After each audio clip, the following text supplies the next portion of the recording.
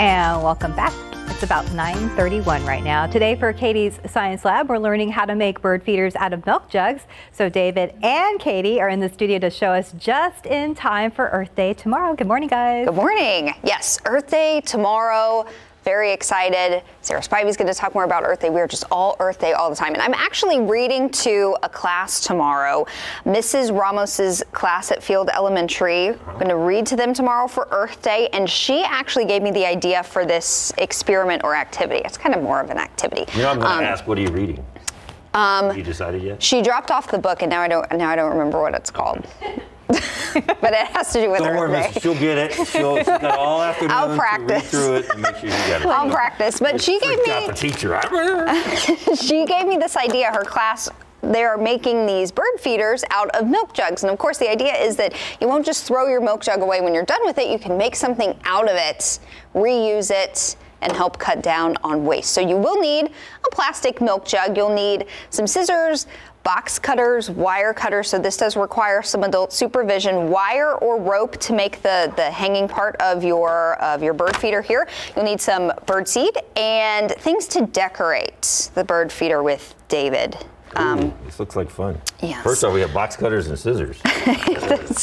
Careful. Sharp things. So I already did mine, David. So this is what you're this is what you're aiming for. Okay, so you can tell me what I'm supposed to do. This is yours. So you're going to want to cut out, you know, where the birds can sit, and then you're gon- we're going to put the bird seed down here. So you want to cut out little little windows for your birds. Little windows for the bird. Yes. I'm going to take these glasses. Good. You don't want to go too low because.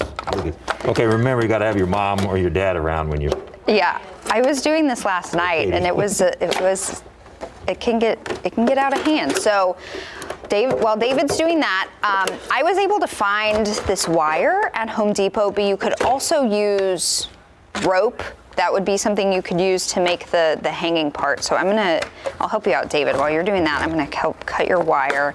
There's, I'm sure, I don't have traditional wire cutters, so my husband was like, you just use these. and I can imagine that traditional wire cutters would probably work a little bit better, but I was able to kind of make an indentation here and then use the scissors to cut the rest of it. How's it going, David? Well, that's Oh, a good good. trick. How about Yeah, that? And that helps you cut a piece of it off. And you really don't need you don't need very much. Good job. So that would probably be sturdier than a string, though, right? I, I, I think so. If you had some thicker rope, it would probably be okay. Look But this that. is oh, So there's some also. milk in it too. All oh, right. Oh, sorry, thought I cleaned it out better. than that. My goodness. Thirsty later. So. Oh, I gotta poke a hole in there, Yeah. right? So then, once you have your your side parts cut out. Yeah, these box cutters, man. So then you'll poke two holes at the top here to put the wire in. Right? And this is slightly bendable wire. I think you could even at Oh, it might have been. gosh, um, Michael's or what's your favorite store, Justin? Hobby Lobby. You could find some bendable. he talks about his love of Hobby Lobby. You could find some wire that's. This is fairly easy to bend, but I think craft Okay. wire would be better. So David, then you're going to put your wire in, Okay.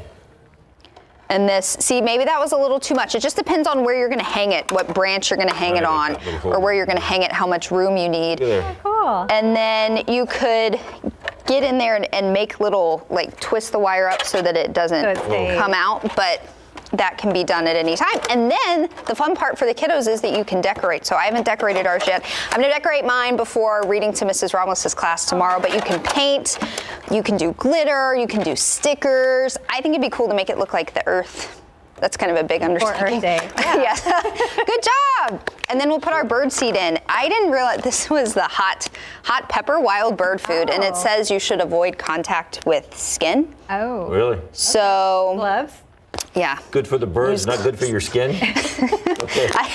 I'm not an expert on bird food, so I didn't realize the- this was so spicy. But uh, pick up some some bird food, some seed Okay. for for the birdies, and enjoy. Decorate my Oh, you got the spicy bird feed for South Texas. There you go. Very appropriate. Exactly. So enjoy your new bird feeder. That is awesome. And have fun reading to the class tomorrow. Thank you, and happy Earth Day, everyone. Yes, happy Earth Day. Thanks, guys. And David, I'll see you in a moment. Wardrobe change. Go hang my bird feeder in the tree outside.